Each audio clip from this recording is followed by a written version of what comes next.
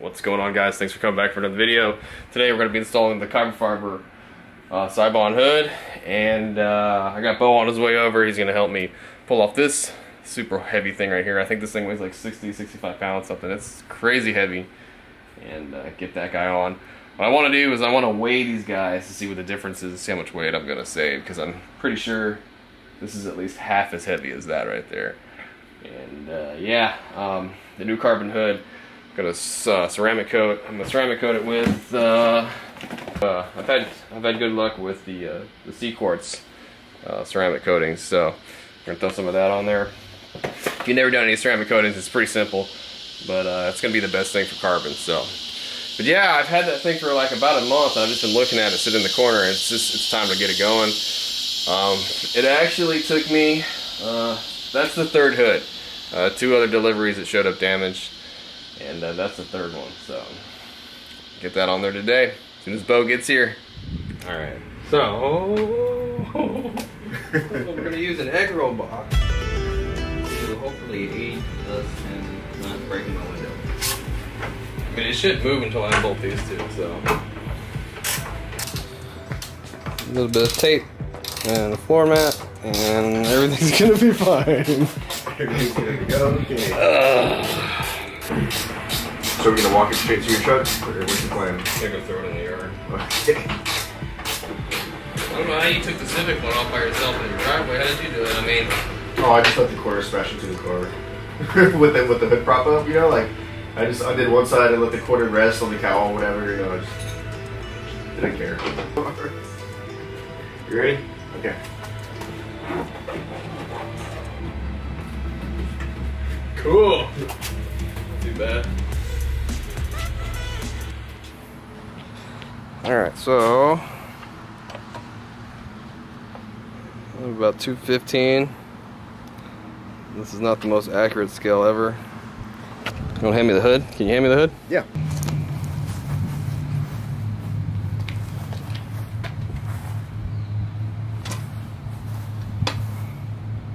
Yeah, can you give the number? Yeah. All right. 265? 265. Okay. So what is it? Uh, about 50 pounds, right? Two, 215, 265. Let's do some math. 50 pounds. Yeah, 50 pounds. 50 pound hood. So he weighs 215, the hood's 265, so that makes the hood about 50 pounds. Any guesses on the carbon hood? It's at least half. At least, really? Damn. He thinks it's gonna be at least half the weight, so like roughly 25 pounds.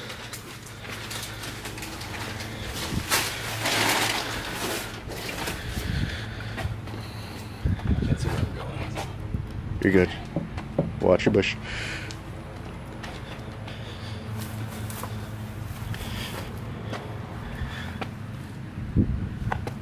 Just below 250. So,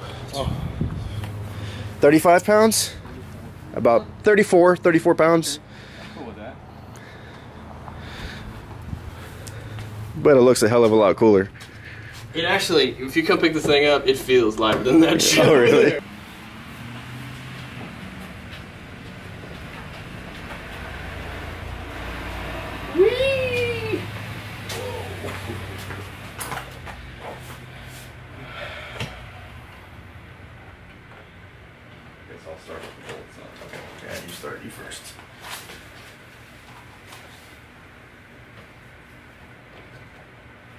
you can't see anything because everything's black. This box. Is that good or can we get higher? Or we just go all the way up? Hold, yeah, hold yeah, yeah, just go up. We good?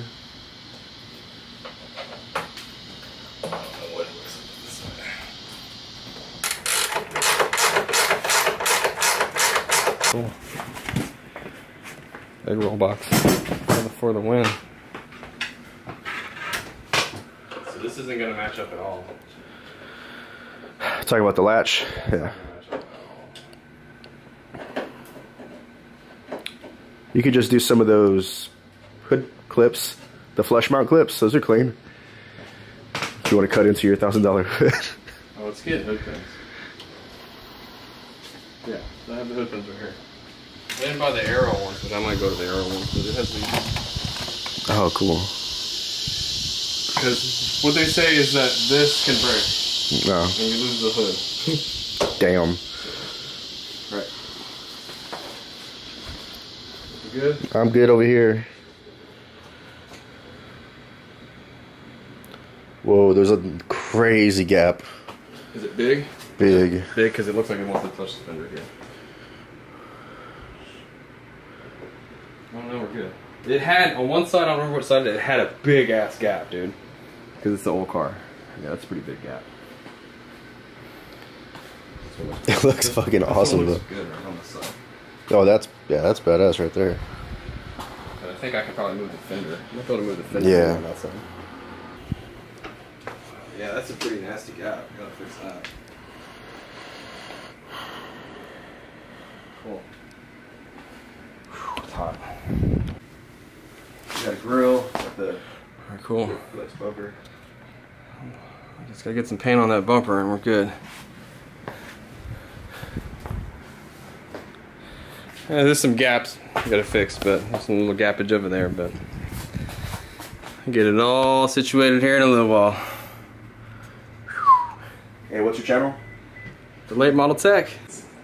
Alright, so there's still some gap here that I need to do some little bit of adjustments, but I'm really I'm pretty happy with the way it's it's fitting so far. It looks looks pretty good, especially with the new bumper.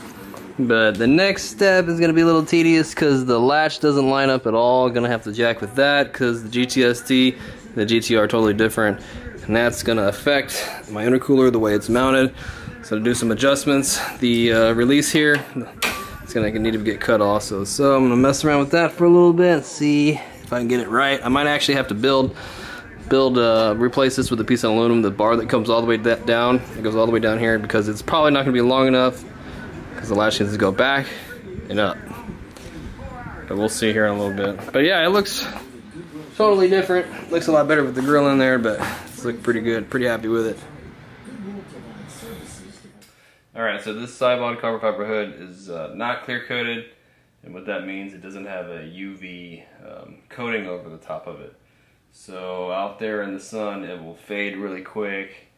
I know that you've seen some uh, carbon fiber hoods out there that just, you know, turn yellow and green, get all rough and stuff. I mean, that's basically because the carbon fiber hoods, they don't come with any clear coat or UV coating. So, to uh, the best thing to do would be to take it to a body shop and have them sand this and actually clear coat it and you'll be good to go. Um, that's what you like find with uh, like OEM carbon fiber pieces like the roofs and stuff on like M3s. Um, those pieces are clear coated and they're protected with the UV coating with in, inside the clear coat. Um, I'm not going to do that. What I'm going to do is I'm going to go ahead and just ceramic coat this thing. Uh, the ceramic coating is going to give it that UV protection and the ceramic coating is supposed to be good for about five years.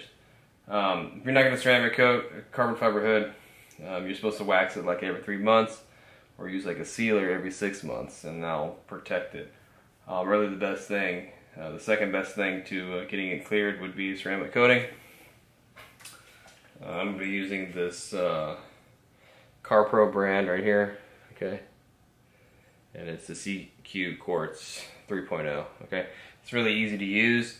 Um, basically what you're going to want to do is make sure that whatever your, your whatever your ceramic coating is perfectly clean and perfectly in the condition you want it to stay in for the next couple years. But step one is going to be uh, use some type of product that will take the uh, any type of grease, wax, anything, everything, strip it off. Okay, and I have this product here. It's Q2M Prep. Okay, everything I'm using will be down in the description box. This stuff will completely strip it, and it's supposed to leave kind of like an anti-static finish on it. Uh, we're gonna do this first, and then put on the ceramic coat.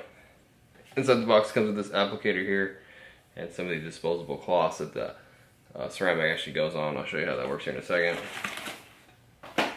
And then after you after you ceramic coat it, you have about 30 minutes to apply um, their reload product. And what this does is this helps out with the uh, the beading action, the cleaning action uh, on the ceramic coat. This makes it a little bit slicker, so when you go to wash it, it washes a lot easier, and all the dirt and water just come sliding off it real quick. That's kind of what gives it the uh, that ability, I guess. Okay. You have about 30 minutes to apply this after you do the ceramic coat. The reason why is I think because you want this to bond with the ceramic coat. Uh, the ceramic coat is going to need like 24 hours to set up before it's fully bonded. Um, you can't get it wet. You don't really supposed to drive the car. This thing's not going anywhere, so you got to wait for it to kind of set up. I got some chemical guys, some brand new microfiber towels. We'll be using these. Okay.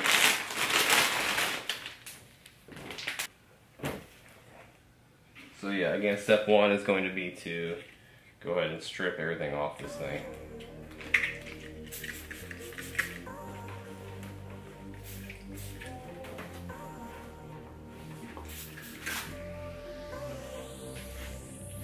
It comes with a little applicator here, and some of these disposable little cloths. You're just gonna get a card. Stick it on there like that. Just work it in there. No problem. Okay, get this as tight as you can.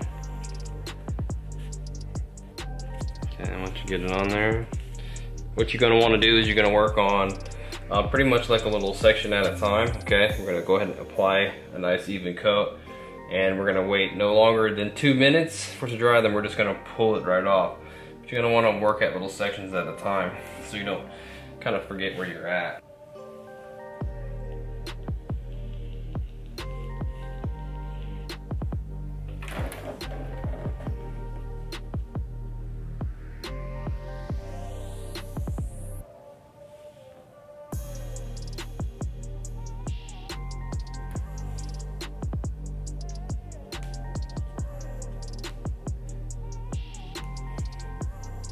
Goes on real easy.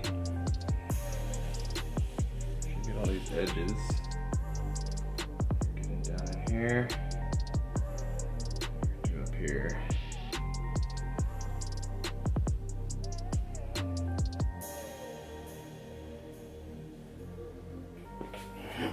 then you can see it all depending on how uh, hot and humid it is out here. Um, two minutes is probably max. You'll start to see it kind of rainbow up a little bit. Um, if it was cooler outside, uh, it might take a little bit longer, but it's real hot and humid right now, so a little less than two minutes would probably be optimal. Just buff it off real quick. I'm gonna keep moving around the hood. Yeah, but I don't know if you can see that on camera right there, but you can see how it's kind of rainbow color right there. But that's about as long as I'm gonna do. I'm just gonna pull it right off.